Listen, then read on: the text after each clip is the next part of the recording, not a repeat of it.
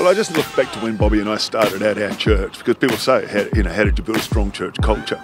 And I thought, well, how did I? And I thought, you know, I never really tried to build a church culture. We just had to be. Yeah. Like in those days, there was no one else to sweep the floor after the service in the little school hall. I had to do it myself. Yeah. And uh, so we just, I think, just be who we needed to be to build a church. And yeah. obviously, as life goes on, functions change and roles, and you've got a lot more people around you and so on, but you can never ever stop.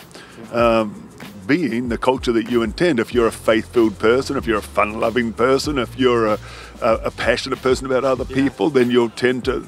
That's the world you're going to live in. Yeah. And I think oftentimes when it comes to culture, our view of God is so critical. Mm. Uh, the, the, the, story, of the parable of the talents, you know, the, the two guys who took what they were given and doubled it, and the one guy who took what he was given and buried it in the ground. And the interesting thing to me is they serve the same master, yeah. but the two what they heard from the master was, "Well done, you're good and faithful. Yeah. Uh, you've been faithful a little. I'm going to give you opportunity over much. Enter into the joy." Mm-hmm. The other guy, he said about the same master, "I knew you to be a hard man, reaping where you haven't sown." So same master, totally different perspective. And I honestly think when it comes to framing the culture of our church, even our family, uh, the way we it, the, the, the, one of the most critical things is the way we view God. Wow. And I can often tell a person's view of God by the culture of their church. If they're legalistic and harsh, if they're, you know, yeah. if it's if it's cold or if it's open, gracious, yeah. inclusive, I think our view of God's critical.